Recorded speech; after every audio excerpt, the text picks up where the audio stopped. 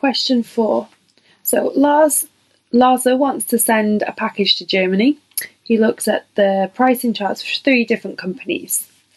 Um, this is his parcel, measuring 20 by 30 by 10, and it wants you to find the cost of sending the parcel for each of the three different companies, giving your answers in pounds. So the first one is to do parcel max. So it's the sum of the three dimensions in centimetres times by 60p. Now sum means just to add them.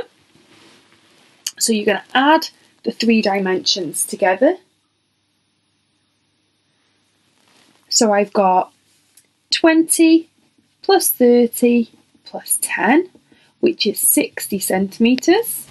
Okay, and I'm going to times that. So it's 60 times 0.6, which is 36 pounds. Okay, part two, you're going to do direct go.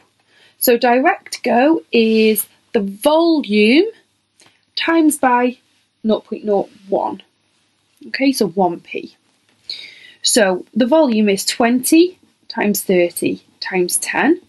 So 2 times 3 is 6, times 1 is still 6, and then I can add on my three zeros. So centimetres cubed. I'm then going to times that by 0.01.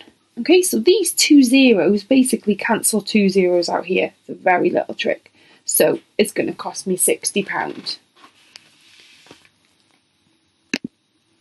Next part is to do pack to save.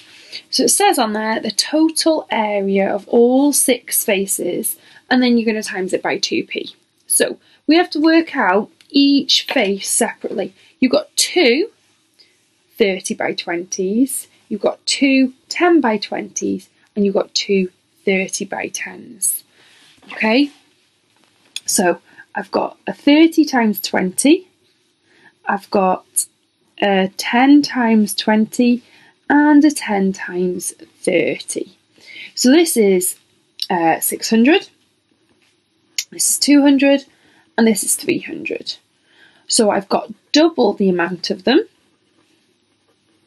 So in total, we've got 6, 12, 14, 16, 17, 18, 19, 22. So it's 2,200 centimetres squared. We're going to times that, so we've got 2,200 times by 0.02. Again, those zeros can make those disappear. So it's 22 times 2, which is 44 pounds. The last part now is what is the percentage saving that Laza will make by choosing the cheapest option rather than the most expensive? Now, the most expensive is Direct Go because that was 60 and the cheapest was Parcel Max at 36. So basically, you do the difference between them divided by the most expensive. Okay, and then you turn it into a percentage times by 100.